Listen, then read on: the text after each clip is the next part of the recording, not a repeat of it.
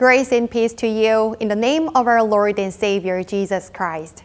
My name is Eun Kang. I'm one of the associate pastors here at Wrightsville United Methodist Church.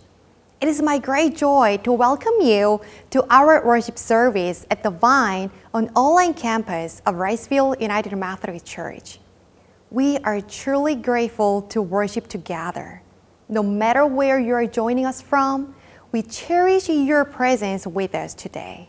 So we believe that God will encounter you through today's worship service. So now let us prepare our hearts before God. Take a deep breath and feel closer to our Lord.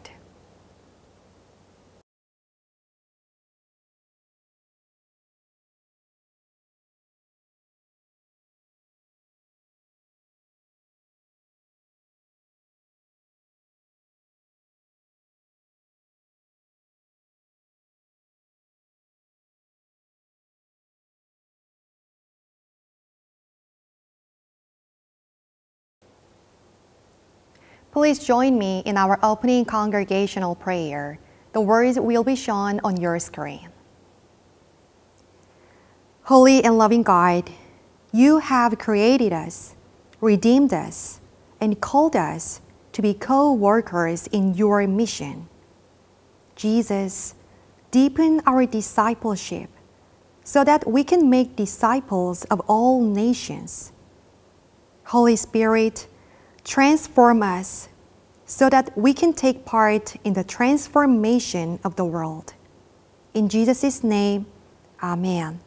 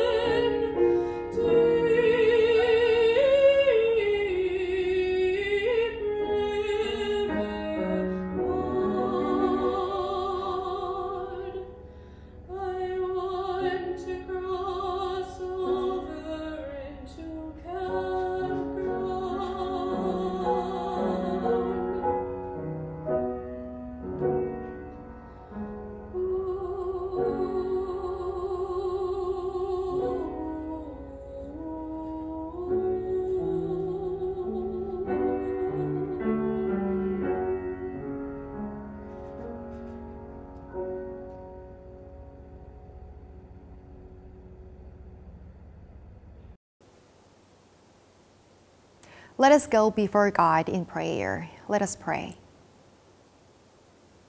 Holy and loving God, thank you for calling us as your children. Thank you for bringing us together as a community of faith. As we gather here today, we ask for your presence to be felt among us. Open our hearts and minds to receive your word and let it guide us in all that we do.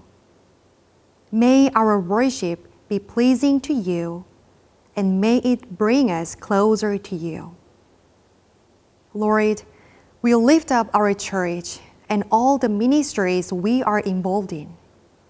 We pray especially for our upcoming vacation Bible school this week. Bless all the preparations, the volunteers, and the children who will attend. May VBS be a time of joy, learning, and spiritual growth. We pray that the seeds planted during VBS will grow and bear fruit in the lives of the children and their families. Lord, we also lift up to you the needs of our church community. Just as the early believers worked together to ensure that everyone was cared for, we to strive to help and support one another.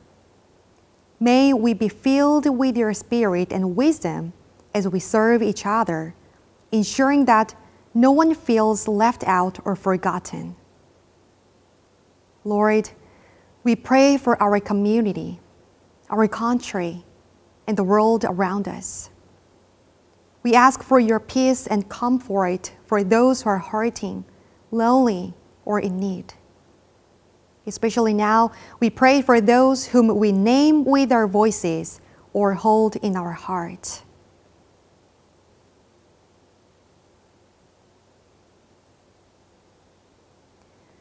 Lord, in your mercy, hear our prayers. We trust your goodness and your plan for us. We humbly offer this prayer in the name of Jesus, who taught us to pray our Father, who art in heaven, hallowed be thy name. Thy kingdom come, thy will be done, on earth as it is in heaven.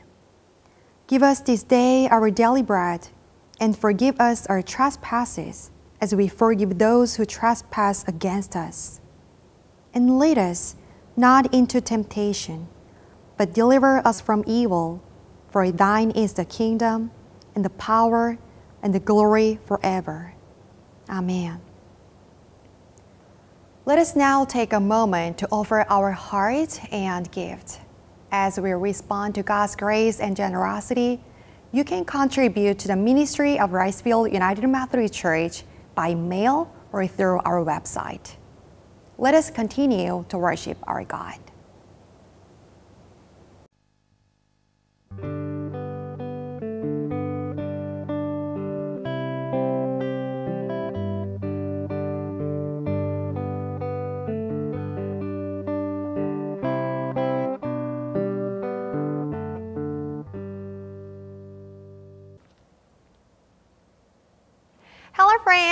I'm Pastor Unsil. How are you today? I'm so excited to share this time with y'all. So today I have a bag here with some papers and each paper has something written on it that shows a way we can help others. So I'm gonna pull out these papers and read what is written on that. Um, okay, here, it's the first one set the table for dinner, right? We can set the table for dinner helping our parents, right? And the other one is, okay, here. Open the door for others. Yes, right. We can open the doors for others. Mm -hmm. And, oh, here's the last one. What's that? share my toys or snacks with friends, right? We can share our toys or snacks with our friends, right? I love all these ideas to help others. Just like we read these ideas, today we're going to hear a very similar story from the Bible. So, in the early days of the church, all the believers were like a one big family. They shared everything they had and took care of each other. But as the church grew, some people started to feel left out, especially those who didn't speak the same language as everyone else. They were not getting enough food, and absolutely, this made them very sad.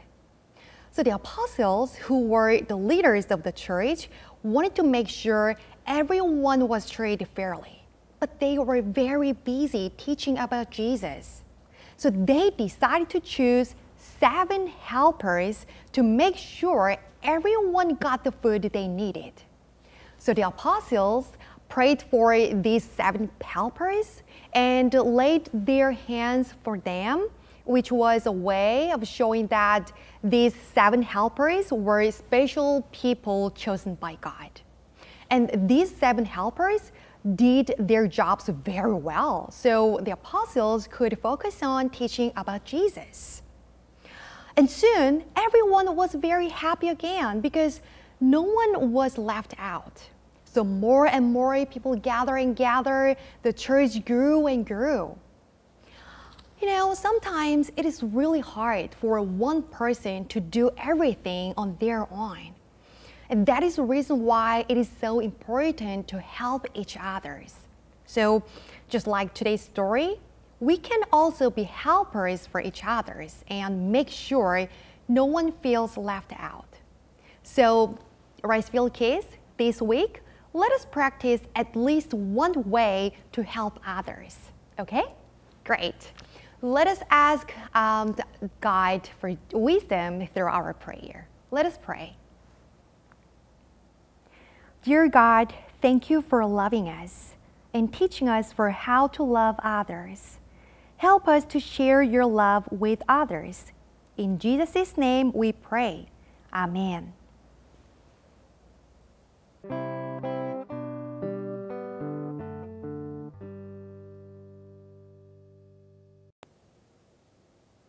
Grace and peace to you in the name of our Lord and Savior Jesus Christ. My name is Doug Lain. I'm senior pastor here at Wrightsville United Methodist Church. And I want to thank you for taking time to worship with us here on the Vine, our online campus here at Wrightsville.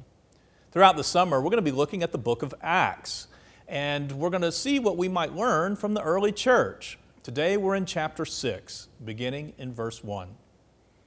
Now, during those days when the disciples were increasing in number, the Hellenists complained against the Hebrews because their widows were being neglected in the daily distribution of food. And the twelve called together the whole community of the disciples and said, It's not right that we should neglect the word of God in order to wait on tables. Therefore, friends, select from among yourselves seven men of good standing, full of the Spirit and of wisdom, whom we may appoint to this task, while we, for our part, will devote ourselves to prayer and to serving the word. What they said pleased the whole community, and they chose Stephen a man full of faith and the Holy Spirit, together with Philip, Prochorus, Nicanor, Timon, Parmenas, and Nicholas, a proselyte of Antioch. They had these men stand before the apostles who prayed and laid their hands on them. The word of God continued to spread. The number of the disciples increased greatly in Jerusalem, and a great many of the priests became obedient to the faith. This, this is the word of God for us, the people of God. Thanks be to God. Let's pray. Almighty and everlasting God, you call us to different tasks within the church. Lord, I pray that um, you will make plain what you need each of us to do. And Lord, that you will open our ears, our hearts, and our minds to the calling that you place on us today. In Jesus' name, amen. Well, it didn't last long, not really the disciples' first attempt at communal living, selling everything they had, bringing it together for distribution so that everyone had enough and no one needed to claim anything as their own. Just two chapters later, here we are, the Hellenists, that is, the Greek Christians, complaining because their widows aren't getting as much aid as the Jewish Christian widows. Maybe it was greed, or maybe it was ignorance or perhaps just plain racial prejudice on the part of the Jewish Christians. Then again, maybe it was grabbing and clawing on the part of the Greek Christians. Maybe a simple neglect on the part of the apostles. And maybe it's just a faulty method of distribution. I mean, how many times has the church set out with good intentions, but the plan just didn't work out as we imagined? Whatever it was.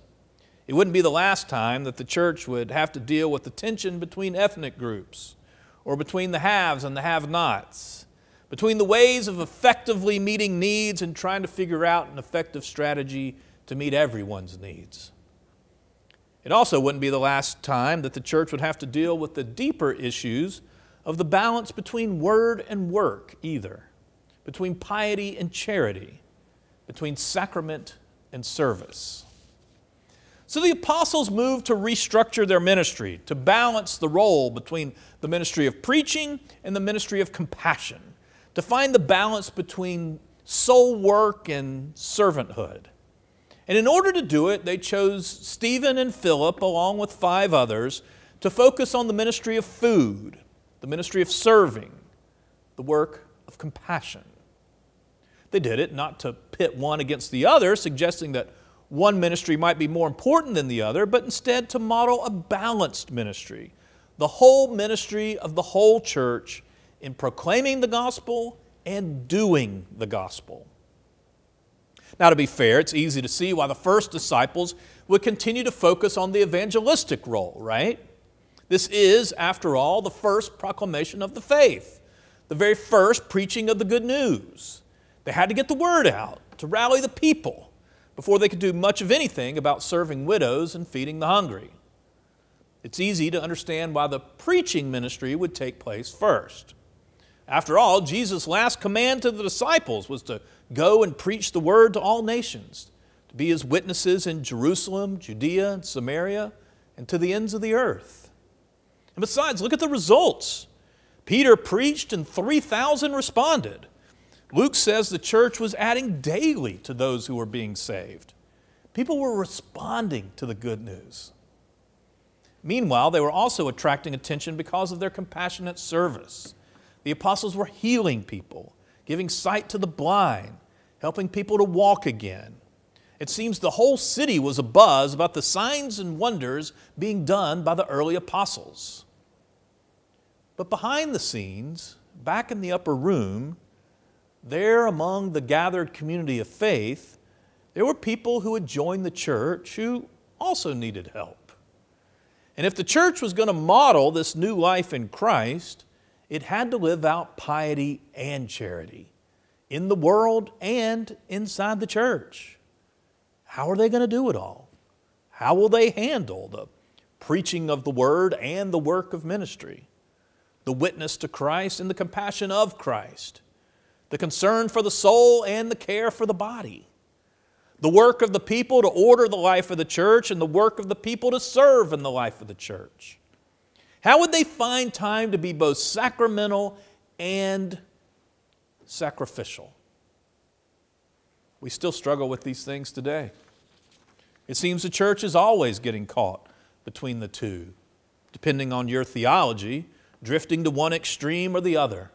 From evangelism and preaching the word and saving souls on the one hand, and the passion for social issues, healing, and justice ministries on the other. Favoring Peter's preaching or Stephen's serving, all the while trying to find the right balance to get the fullness of ministry that Christ really intended for His church.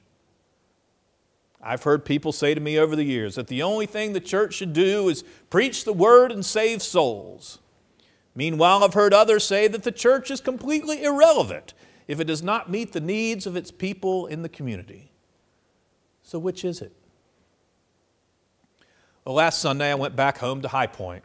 I honestly can't remember the last time I sat in the pew with my mom in my home church. It's been a long, long time. Maybe 28 years or so, ever since I became a pastor. I really can't remember. But when I was a kid growing up in High Point, it seemed that my church was very focused on teaching me all the right beliefs. I went to worship every Sunday and to Sunday school, to Wednesday night dinners, I sang in the children's choir, and when I got old enough, I joined the youth group. Faithful attendance to these things was very important for my family. Now, maybe I was too young to understand, but I don't recall ever talking about the implications of the gospel on race relations in the United States or on the Cold War with the Soviet Union. I heard that the United Methodist Church had missionaries in Africa, but I don't ever remember discussing colonialism or apartheid. Live Aid, that series of concerts designed to help feed people in famine stricken Ethiopia, occurred when I was 14. I sang along to Do They Know It's Christmas After All and We Are the World. But sending food, money, or supplies to Africa didn't seem to be the kind of business that my church or any church that I knew of was going to get involved in. Closer to home, no one ever talked about making sure that all Americans had a living wage or access to affordable health care or having diversity in the workplace or how to address the flow of immigration or whether or not the justice system might show a bias for or against certain groups. Oh, excuse me, I'm sorry. These things may have been discussed, but not in the church. No one I knew ever went on a mission trip to a faraway land. We weren't invited to volunteer at the local homeless shelter, and we never ever sang, Here I am, Lord, is it I, Lord? I have heard you calling in the night. I will go, Lord, if you lead me. I will hold your people in my heart. What we did sing was Amazing Grace, Oh, for a Thousand Tongues to Sing, and anything made popular by Billy Graham Crusade. I love that church. It's the church that formed me, and it did a good job of what it was trying to do. But unfortunately, as the issues of the world continue to press in all around us, many people found that that kind of church was lacking, and they left it. In fact, millions of Americans have left churches just like that. Now, fortunately, the story of my home church is a story of a great comeback, but we'll get to that in a minute. Because before the comeback, I went off to college, and there I learned about things that I really had only skimmed the surface of before. I came to understand that the civil rights movement was rooted in the gospel and in a church experience that was simply different from mine. I came to learn that the peace movement was also rooted in the gospel and another church experience that was very different from mine. But I didn't learn about these things in church. I simply learned that they were born in the church. And since I was learning about them outside the church, there was never a mention of having a relationship with Christ or the acknowledgement of the need for God's grace, but I could see the connection. Since I'd been faithful to attend Sunday school, vacation Bible school, Sunday worship, Wednesday night choir practice, Sunday night youth group, well, you know, some of that Bible stuff actually sunk in.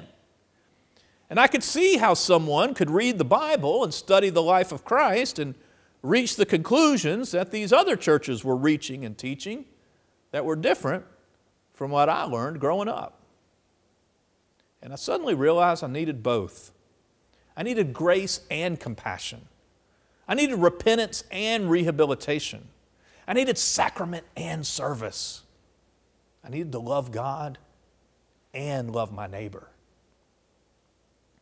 There's a popular meme that floats around on social media that says, What if I told you that the left wing and the right wing belong to the same bird? That's what I needed a church that could embrace both parts of the gospel. It was neat going back to my home church last week. Some of you know I went back because the church was dedicating a wall in their clothing closet in memory of my dad's years of volunteer service at the church. That's right, the church has a clothing closet now. And dad led church members on more than 55 mission trips through Appalachian Service Project. The church serves dinners at a homeless shelter twice a month, and they give birthday gifts to kids at a high poverty school that they've adopted. Guess what? The church is growing by leaps and bounds. We might even say it's flying because it has nurtured both the left wing and the right wing of the bird. Now, we do a lot of those same programs that I just named, and actually much more right here at Wrightsville. I hope our ministry initiatives, our church life and programs lift up the balance between Peter and Stephen, between worship and work, between sacrament and service. Let me give you a few examples. You may not know this, but yesterday one of our church members, Dick Morrison, was consecrated at the North Carolina Annual Conference to be a certified lay minister. He's done a lot of work in the last year to learn more about Methodist theology, history, polity, and preaching so that he can be certified to lead worship services in churches and senior living facilities. He'll be spreading the gospel throughout Wilmington and beyond, and I'm so excited for how he's responding to God's call on his life. Meanwhile, this Sunday at each worship service, we're consecrating two youth mission teams who will go out in our name to serve the poor and needy. Our senior highs are going to El Salvador to help build a Methodist school there. Our middle schoolers are going to Lake Norman to help people right here in our own state. And tomorrow, we'll start Vacation Bible School here at Wrightsville. We have 250 kids coming and over 100 volunteers. We'll be engaged in evangelism and spiritual formation. But these kids will also be involved in outreach as they collect money and stuff backpacks with supplies for kids through Family Promise and communities and schools. I could go on and on about how we teach young people in Sunday school and then reach more kids by volunteering in the public schools. We give our money to ministries in the church, and we also give our money to community ministries like Mother Hubbard's Cupboard in the name of the church. We come to worship and sing God's praise, and then we leave to witness by how we behave. John Wesley, the founder of the Methodist movement in the 1700s, called Methodism the via media, the middle way, bringing a balance between the personal gospel and the social gospel, between grace and holiness, between science and faith, between piety and politics, between work and worship, between sacrament and servanthood. You see, we're not an either or kind of church. We're a both and kind of church. And honestly, that's what I like about it. We don't just share half the gospel, we try to present the whole gospel for the head and the heart, for the body and the soul, for this life and the life to come. But that brings me to a question What about you? I'm going to ask that you take a spiritual checkup today. I want you to take a minute and look at the cross. It should appear on your screen. And if you're having trouble, I want you to look at this cross right here on um, the red parament. For our purposes today, I'd like to suggest that each beam in the cross represents something.